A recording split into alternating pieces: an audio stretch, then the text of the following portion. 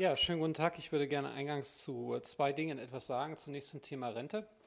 Äh, auch in der SPD hat eine Debatte über das Rentenkonzept begonnen. Darüber freue ich mich selbstverständlich. Äh, Hauptkernpunkt äh, dieser Debatte ist offensichtlich, ob man die Fehler der Agenda 2010 und die damals beschlossenen Rentenkürzungen zurücknimmt oder dabei bleibt. Ähm, das, was von der Troika zu hören ist, ist ein klares Nein äh, zu Korrekturen der Agenda 2010. Allerdings gibt es Debatten in der SPD, bei den Jusos, äh, bei den Frauen in der SPD, bei den Arbeitnehmern. Und offensichtlich äh, gibt es auch ein Einsehen in den Ostverbänden der SPD, 22 Jahre nach der deutschen Einheit endlich mal darüber nachzudenken, auch die Ostrenten anzugleichen.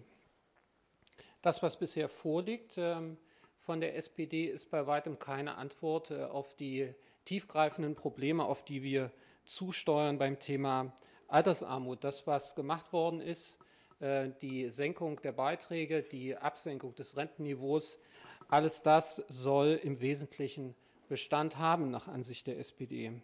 Wenn wir uns die aktuellen Zahlen anschauen, dann haben wir mit einem dramatisch wachsenden Problem zu tun. In der Zeit von 2000 bis 2011 äh, ist der Anteil der Rentner, deren Rente unterhalb des Sozialhilfeniveaus liegt, bei den Männern von 3,2 auf 12,5 Prozent gestiegen, bei den Frauen von 18 auf 46,1 Prozent.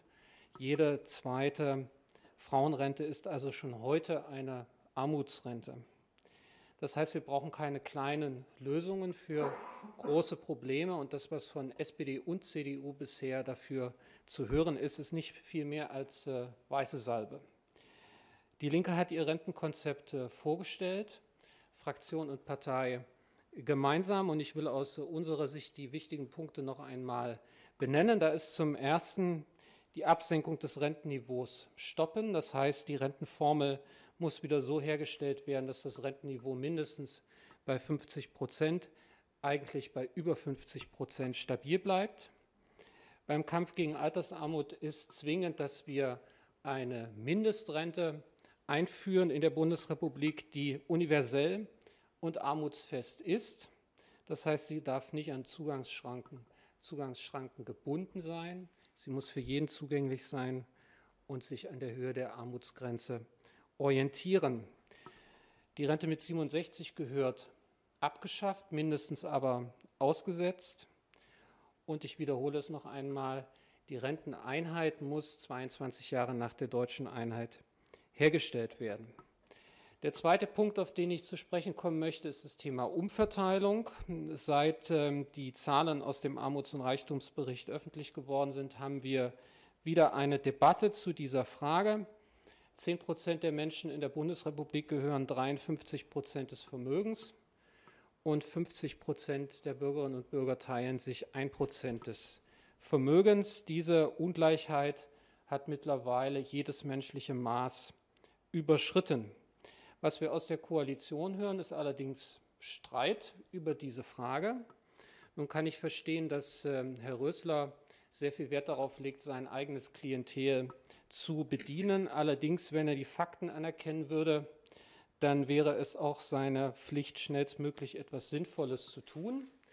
Etwas Sinnvolles zu tun ist nicht unbedingt die Eigenschaft von Herrn Rösler, aber vielleicht überrascht er uns ja noch und auch die Kanzlerin ist im Moment keine Hilfe in dieser Frage.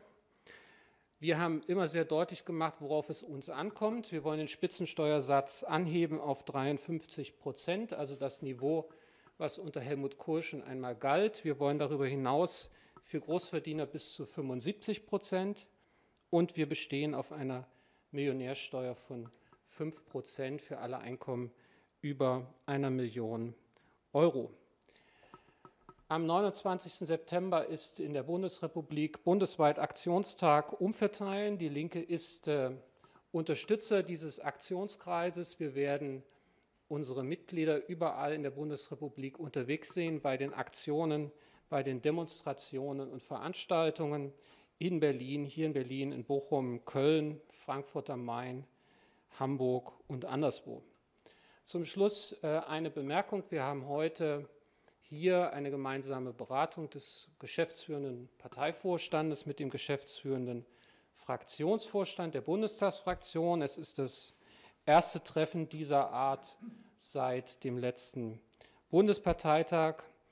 Wir sind uns einig darin, dass die drei Monate, die hinter uns liegen seit dem Bundesparteitag, gute Monate für die Partei waren. Die Partei ist deutlich besser aufgestellt als vor dem Sommer.